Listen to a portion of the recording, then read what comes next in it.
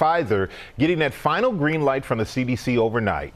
Millions of doses are being shipped across the country for kids aged 5 to 11.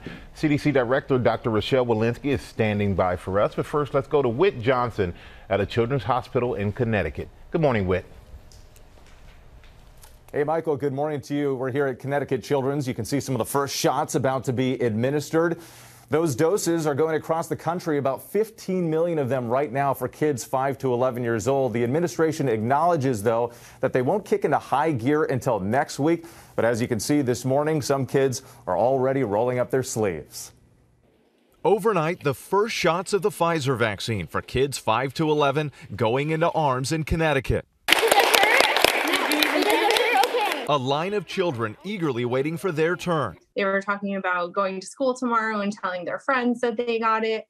Um, so, really kind of ready to get out there and uh, get protected. The doses coming just moments after the CDC director gave the final green light, following an advisory panel's unanimous vote yesterday to recommend the shots. We have a total of 14 yeses, zero nos, and so the motion passes. Kids will get just a third of the adult dose amount.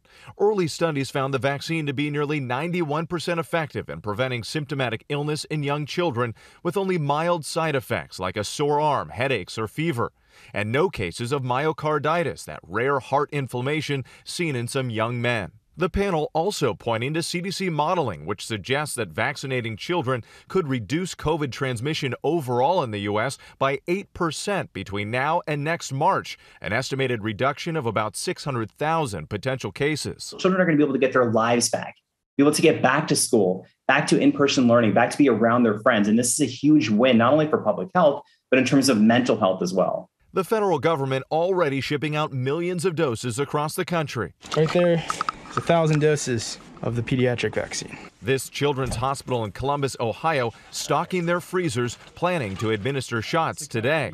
With about 28 million children now eligible for the vaccine, some parents are eager to get their kids in line. We feel about as part of like being part of a community where it's helping keeping everyone safe. But despite promising trial results, a recent poll shows 63% of parents either refuse to get their kids vaccinated or plan to wait. It's very concerning, uh, especially for five-year-olds, uh, uh especially elementary school. The immune system is definitely still developing. And once again, we're back here at Connecticut Children's. You can see some of the brave kiddos ready to go. Our friend John, 10 years old, is in the chair right now. You ready? Okay, thumbs up. We're going to be with John as he goes through this process. John says he's a football player, so he's not too worried about it. Here you go, and there it is. Great. Nice and easy, John. You feel good? Thumbs up? All right, thumbs up from John. So the process continues here. And one more thing to note across the country, some of the major pharmacies and doctors' offices say that it might take a day or so just to get their websites updated before you can make an appointment. So you want to make sure you are patient and go ahead and plan ahead.